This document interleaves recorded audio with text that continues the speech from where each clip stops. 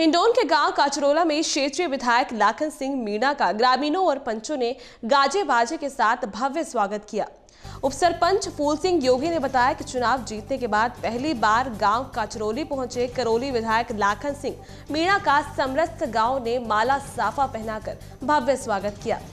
इससे पहले विधायक का गाँव के मुख्य रास्तों में बैंड बाजों के साथ जुलूस निकालकर अभिनंदन किया गया। इस अवसर पर विधायक लाखन सिंह मीणा ने लोगों को संबोधित करते हुए कहा कि आपने जो प्यार दिया है उसे वो ज़िंदगी भर याद रखेंगे। एस्टीमेट बनवाए, चाहे इसको 30 लाख का बनवाए 40 लाख का बनवाए, स्वीकृत कराने का मेरा काम है।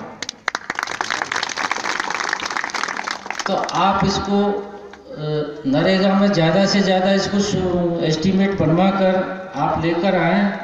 स्वीकृत मैं कराऊँगा, चाहे कलेक्टर से कराना पड़े, चाहे सीओ से कराना पड़े। उसके बाद में जब ये बन जाएगा, बनने के बाद में इसमें कहते हैं पानी आता है तो कच्चा तो पड़ जाएगा। उसके लिए सीसी की भी आवश्यकता है सीसी रोड की। तो हम इसका एक प्रोजेक्ट बनाएँगे। उस प्रोजेक्ट में अगर सैंक्शन हो गया तो ठीक है।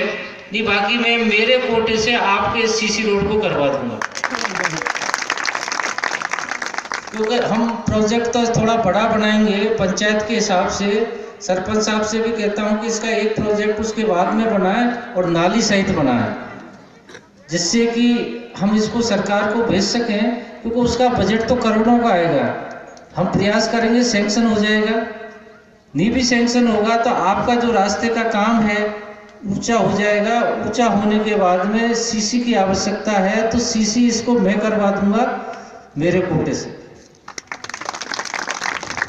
मैं तो आपसे यही कहना चाहता हूँ, जैसा मेरे ऊपर आपका हमेशा आशीर्वाद बना रहा, पहले भी बना रहा, इसी तरह आगे भी बना रहे, और जब भी आपके कोई भी काम हो, मेरे पास कभी आए, मेरे हमेशा दरवाजे खुले रहते हैं जो भी समस्या हो, उन समस्याओं को लेकर आए। एक बात ज़रूर कहता हूँ कि एक समस्या लेकर मेरे पास मत आना। वो समस्या है आप लोगों की आपस की लड़ाई। दो भाई लड़कर मेरे पास मत आना, मैं सिफारिश किसी की नहीं करूँगा। और बाकी काम के लिए आप आधी रात पे भी आए, उसके लिए मैं आपके लिए आधी रात पे भी तैयार हूँ। जो भी आपकी समस्या हो, मुझे बताएँ और आपके जैसे भी कोई कार्यक्रम हो, उसमें भी मुझे बुलाएँ तो मैं हमेशा आपके बीच में आपके दर्शन करने ज़रूर आऊँगा। जय हिंद, जय भारत, जय भीम।